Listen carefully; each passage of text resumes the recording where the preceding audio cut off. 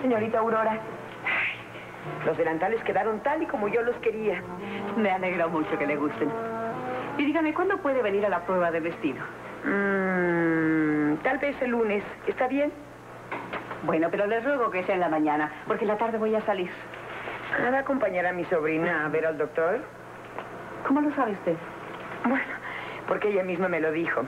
No ha querido que lo haga yo, porque parece que no soy de su confianza. No, no es eso. Es que Susana trata de evitar que la preocupen con advertencias y cuidados exagerados. Por eso no ha aceptado tampoco que su madre la acompañe. Bueno, ni siquiera su prima Luisa, que ha sido siempre su inseparable. ¿Que Susana y esa muchachita Luisa han sido siempre inseparables? Bueno, últimamente se han dejado de ver porque Luisa ha tenido demasiado trabajo en la escuela que dirige. Pero las dos se han querido siempre mucho.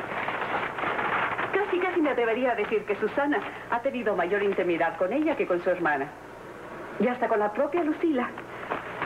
Muy interesante. ¿Por qué? Ah, ah, no, no, no, fue un simple comentario. Pero me ha servido para comprender lo que usted dice. Que Susana quiere evitar cuidados y mimos exagerados cuando consulta al doctor. Ay, ¿cómo se llama el, el doctor? Ay, pues usted me va a perdonar, pero he olvidado el nombre y la dirección. Ay, es que soy tan distraída. Ah, no se preocupe, no tiene importancia. Eh, ¿Necesita el dinero de los delantales? Pues sí, me da mucha pena decírselo, pero sí lo necesito. Ah, bueno. Bueno, pues en ese caso se lo mandaré con mi sobrino esta misma tarde.